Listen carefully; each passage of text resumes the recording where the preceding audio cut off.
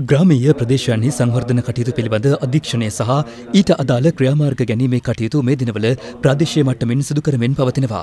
ඒ අනුව නුවරඑළිය දිස්ත්‍රික්කයේහි කොත්මලේ ප්‍රදේශයේ සංවර්ධන කටයුතු පිළිබඳව සොයා බැලීම සඳහා වූ සාකච්ඡාවක් ඊයේ කැටඹුලාව සංවර්ධන නිලධාරී කාර්යාලයේදී පැවැතුණා. ඒ කොත්මලේ ප්‍රාදේශීය සංවර්ධන කමිටු සභාපති චාමර සුභාෂිතද සිල්වා මහතාගේ ප්‍රධානත්වයෙන් එම රැස්වීමේදී ප්‍රාදේශීය සභා මන්ත්‍රීවරයෙකු වූ නිමල් පියතිස්ස මහතා ප්‍රදේශයේ සංවර්ධන කටයුතු පිළිබඳ අදහස් පළ කළ අතර පසුව එම සභාව ආමන්ත්‍රණය කිරීම සඳහා එය මෙහෙය වූ සංවර්ධන නිලධාරීවරිය තවත් මන්ත්‍රීවරයෙකුට ආරාධනා කිරීමත් සමග උණුසුම් තත්ත්වයක් හටගත්තා.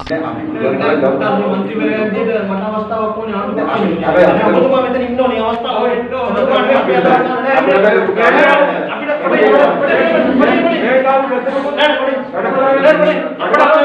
එහිදී ජාතික නිදහස් පෙරමුණේ කොත්මලේ ප්‍රාදේශ සභා මන්ත්‍රී චාමර සුභාෂිතද සිල්වා සහ ශ්‍රී ලංකා පොදු ජන පෙරමුණේ ප්‍රාදේශ සභා මන්ත්‍රී නිමල් පියතිස්ස මහතා අතර උණුසුම් වචන හුවමාරුවක් ඇති වුණා.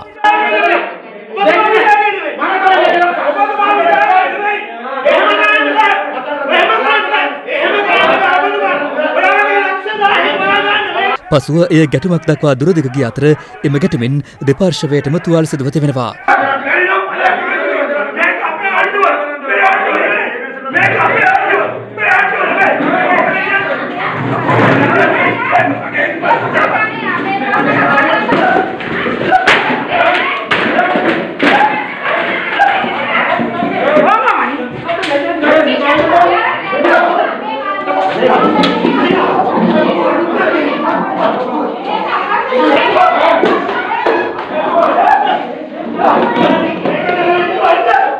සිද්ධිය සබාදයෙන් දෙපාර්ශවයම නාවලපිටිය පොලිස්ථානය වෙත පැමිණිල්ලක් ඉදිරිපත් කර තිබෙනවා.